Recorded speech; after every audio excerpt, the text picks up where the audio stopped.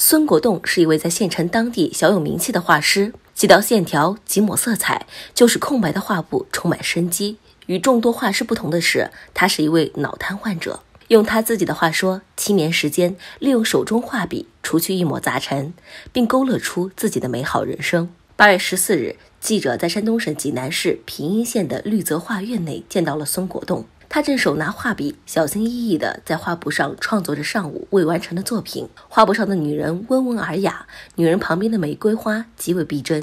孙国栋告诉记者，从出生起他就被病症所困扰，让本就不富裕的家庭雪上加霜。由于出生时缺氧，就小时候就造成了脑瘫。然后我当时医疗条件比较差，然后家里也比较穷，所以一直没有办法治疗，直到。八九岁的时候，然后父母凑了一些钱，我们踏上了寻医之路。之后回来才能开始慢慢的尝试站立。由于儿时特殊的经历，让长大后的孙国栋变得特别坚强。他不想让自己这么平庸的生活下去。二零一三年，一个偶然的机会，孙国栋接触上了绘画。为了提高画技。孙国栋每天早上五点钟便坐上特制的电动轮椅，前往离住处不远的画室进行练习。从那时起，绘画成了他生命中不可缺少的一部分。因为我脑瘫的原因嘛，然后嗯，手指不是很灵活，所以刚开始画的时候，画一条直线对我来说都是很困难，画出来线总是弯弯曲曲的，而且手抬时间长了就累了。嗯，勤加练习呗，早上别人。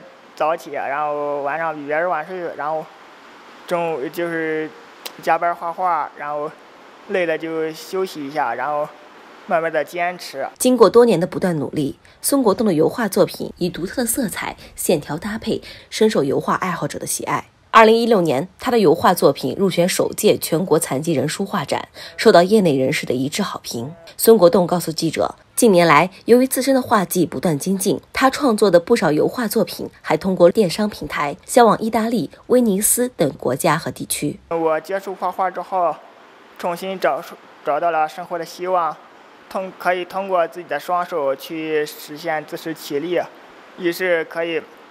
嗯，赚到一定的收入，为家庭减轻负担；二是重新找到了嗯生活的方向，能够让嗯父母和家人感到欣慰。孙国栋的母亲姜广英是一位普通的农民，对于儿子一路走来的艰辛，她看在眼里，疼在心里。如今，孙国栋有了自己钟爱的事业，他感到很欣慰。上初中、上高中，我都来回的让脚蹬三轮推着他，下又不住的接他。我大人吧上地还挂着他自己的家，不放心。主要画画也是他的一种哈技能哈，他干别的能干不了，这是他唯一的出路哈。啊，他现在画的挺好的，我没我没付出，也没白努力，嗯，也也也值得，也是。再大人再辛苦，也感到高兴。